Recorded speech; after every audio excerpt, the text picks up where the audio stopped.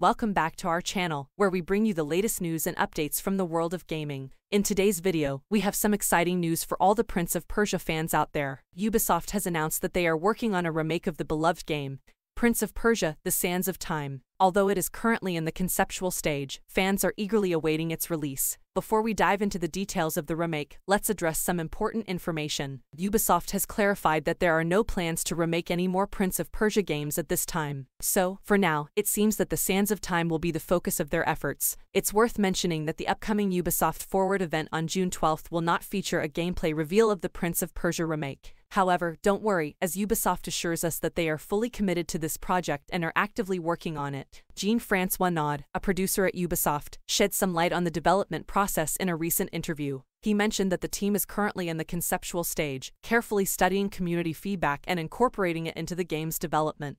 As the team builds up, establishes priorities, and creates early prototypes, they are also testing various elements and considering how to integrate community feedback throughout the development process. It's important to note that the game is still in its early stages, so we shouldn't expect too much information about it this year. However, rest assured that Ubisoft is putting their hearts and souls into this project. Michael McIntyre, the game director, also shared his thoughts on why a remake, rather than a remaster, is necessary. He emphasized that it has been 20 years since the original game's release, and technology and player preferences have evolved significantly since then. According to McIntyre, a remaster wouldn't do justice to these advancements. A remake, on the other hand, allows them to truly develop the game in line with modern expectations. As many of you may recall, The Prince of Persia, The Sands of Time remake was initially announced in September 2020 and was available for pre-order. However, it faced several delays, causing concerns among fans that it might have been cancelled. Ubisoft clarified that the development process had been transferred to their Montreal studio, and the game was delayed once again to ensure its quality. And that's all the information we have for now regarding The Prince of Persia, The Sands of Time remake. While we may not see more of the game this year, it's evident that Ubisoft is committed to delivering a remarkable experience to the fans. We'll be sure to keep you updated as more news emerges. Don't forget to like this video and subscribe to our channel for more gaming content. Thank you for watching, and we'll see you next time.